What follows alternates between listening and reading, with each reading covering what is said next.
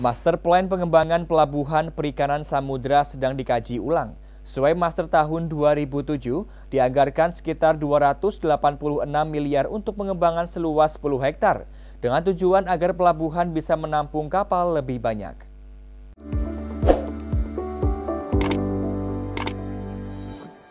Rapat persiapan pengembangan kawasan pelabuhan perikanan Cilacap dihadiri Direktur Pelabuhan Perikanan Dirjen Perikanan Tangkap First Penehas Lesnusa, Wakil Bupati Samsul Aulia Rahman, Kepala PPSCI Masria, Dinas Kelautan dan Perikanan Provinsi Jawa Tengah, serta dinas atau instansi terkait bertempat di Balai Pertemuan Breakwater PPSC Cilacap.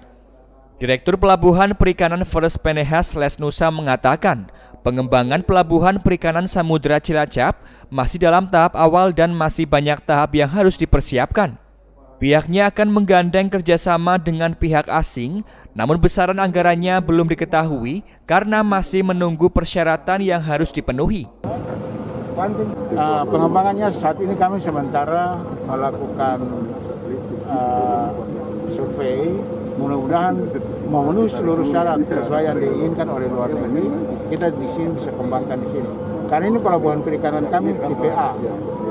Ya kami berencana kalau di utara itu ada di Jakarta mudah-mudahan untuk selatan ada di Cilacap. Boleh tahu berapa itu Pak rencana bantuannya akan diberikan itu Pak? Uh, saya tentang tentang konkret anggarannya kami belum tahu karena ini kerjasama dengan uh, Wakil Bupati Cilacap Samsul Aulia Rahman menyambut baik rencana pengembangan PPS Cilacap. Menurutnya, Pemkap Cilacap mendukung seiring dengan ditetapkannya Cilacap sebagai pusat kegiatan nasional dengan potensi pengembangan di tiga sektor yaitu industri energi, pertanian, dan perikanan. Wakil Bupati berharap nantinya di Cilacap ada industri perikanan terpadu baik berupa perikanan tangkap laut maupun yang perikanan budidaya sehingga dalam pengembangan industri tersebut menurutnya Pemkap Cilacap siap mendukung. Atau Pak, Bupati sih? Ya intinya saya, kami terima kasih kunjungan Pak Direktur mewakili Pak Dirjen. Intinya kami pemerintah Kabupaten Cilacap selalu siap bersinergi dengan PPSC Cilacap. Bagaimana potensi perikanan yang perlu Cilacap sangat besar. Ini kalau pelabuhan PPSN-nya tidak dikembangkan, tentu ini akan berubah. Bahkan mungkin uh, potensi perikanan Cilacap hanya akan menjadi lewat saja. Tapi ke depan kalau PPSN-nya ini dikembangkan, Allah bisa menjadi sentra yang menjadi brand bahwa produk perikanan itu namanya asli Cilacap.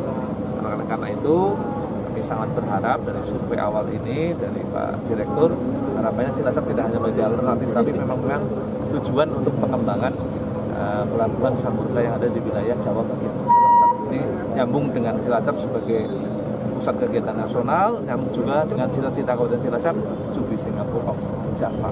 Menurut Master Plan tahun 2007, itu kolam yang akan dibangun kurang lebih 10 hektar.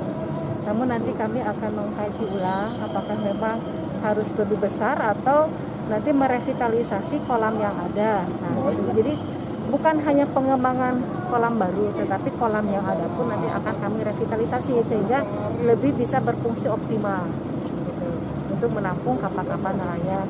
Yang tadi disampaikan masih banyak yang di ada di pinggir dan sebagainya. Anggaran berapa bu? Nah itu kalau anggaran, kalau berbicara eh, kami kan harus mengkaji master plan yang sudah saat itu dihitung. Untuk tahun 2007 itu kurang lebih 286 miliar, tidak salah ya. Tapi itu kan harus dikonversi, sekarang sudah berapa tahun. Insya Allah nanti tadi juga disampaikan harus ada kaji ulang atau review master plan.